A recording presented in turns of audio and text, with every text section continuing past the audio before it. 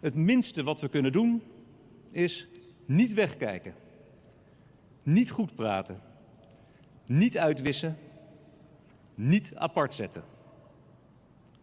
Niet normaal maken wat niet normaal is. En onze vrije democratische rechtsstraat koesteren en verdedigen. Want alleen die biedt bescherming tegen willekeur en waanzin.